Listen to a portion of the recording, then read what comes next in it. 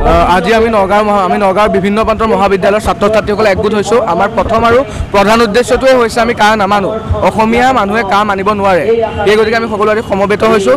যিহেতু দেখা গৈছিল যে বিজেপিৰ এজেণ্ট কিছুমানে শিল্পীৰ ৰূপ ধৰি কা আন্দোলনখনক এক বেলেগ পৰ্যায়লৈ লৈ গৈছিল। গতিকে আজি ছাত্ৰ ছাত্ৰীসকলে মিলি কা আন্দোলনখনক জ্বলন্ত ৰূপ দিবলৈ আমি চেষ্টা কৰিছোঁ আৰু আমাৰ এই আন্দোলন নিৰৱচ্ছিন্নভাৱে চলি যাব। এয়া মাত্ৰ আৰম্ভণি হৈছেহে আৰু অনাগত দিনত নগঞাৰ ৰাজপথ আমাৰ নগঞাৰ ছাত্ৰ সমাজে কঁপাই তুলিব।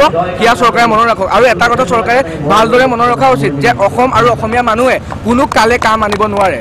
কাৰণ অসমীয়াৰ কাৰণে কা এক ধ্বংসযোগ্য বুলি আমি ক'ব বিচাৰিছোঁ আৰু আমাৰ নগাঁৱৰ ছাত্ৰ সমাজে একেমুখে স্বীকাৰ কৰিছোঁ যে আমি কাক কোনো পধ্যেই নামানো আৰু কা মানিবলৈ দিয়া নহ'ব। যদি বিজেপি চৰকাৰে কাৰ তৎ স্বত্তেও আমাৰ ইয়াত বলবৎ কৰিব বিচাৰে দুহেজাৰ একৈছ চনত অসমৰ পৰা বিজেপিক ফুলাই পোখাই উঘালি দিয়া হ'ব।